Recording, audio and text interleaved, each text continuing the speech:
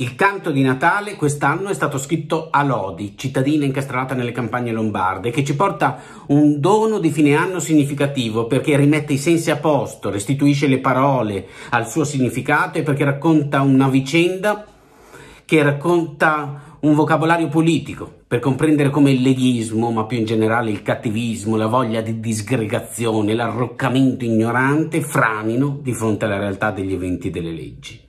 Qui a Lodi nel 2017 la sindaca leghista Sara Casanova aveva pensato di ritagliarsi un po' di notorietà con un nuovo regolamento comunale che discriminava l'accesso dei bambini stranieri ad alcuni servizi essenziali come la mensa scolastica e lo scuolabus.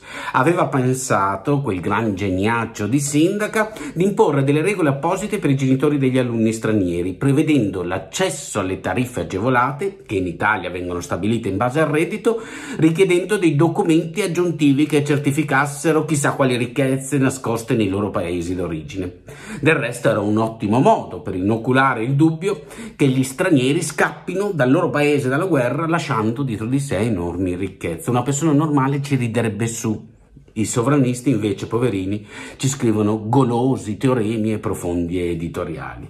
La vicenda era odiosa perché metteva di mezzo gli stranieri, ma soprattutto perché se la prendeva con i bambini. Del resto è tipico dei leghisti fare i forti con i deboli, loro ci riescono solo così e si sentono perfino dei condottieri, i poveretti, quando sono solo gli scherani di una poraccitudine che affila i denti sulle prede indifese. Era andata a finire che molti genitori avevano chiesto di condividere i pasti dei propri figli con i bambini stranieri. Del resto dividersi il pane dovrebbe essere l'atto politico più alto e nobile dovrebbe. Nel 2018 l'ASGI, l'Associazione degli Studi Giuridici sull'Immigrazione, e INAGA, l'Associazione Volontaria di Assistenza Sociosanitaria per i diritti di cittadini stranieri rom e sinti, presentò un ricorso contro il regolamento del Comune di Lodi. 13 dicembre 2018 un'ordinanza del Tribunale di Milano stabilì che il regolamento era discriminatorio, ma va? chiese il ripristino dei precedenti criteri di accesso alle agevolazioni per le mense e il trasporto scolastico.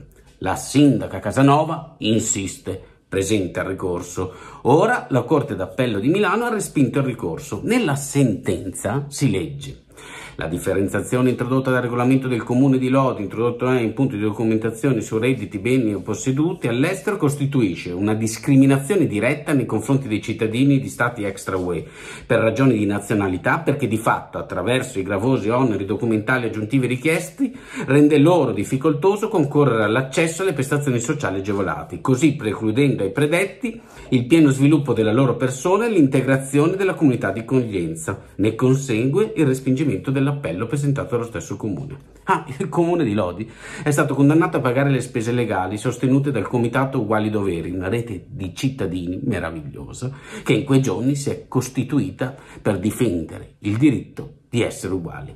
Sconfitti e costosi, eccoli i sindaci leghisti. E quei giorni orrendi sono diventati un manifesto di umanità. Buon giovedì.